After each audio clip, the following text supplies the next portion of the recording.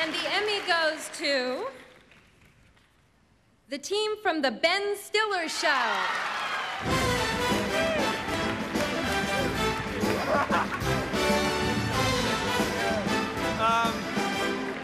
I can't believe it. Uh, somebody had to represent the Fox network tonight, so we showed up. Uh, I, you know, we, we all worked really hard on the show. Not many of you probably know who the hell we are, but uh, it was a great opportunity. I want to thank uh, all of our agents, our mothers, our fathers, our girlfriends, our wives. Uh, this, I can't believe I'm here. This is great. Uh, Judd, Molly Madden, uh, Jimmy Miller, everybody who made this possible, thank you. And the Fox Network, I think you missed, you know, something here. I mean, anyway, okay, thank you. Good night.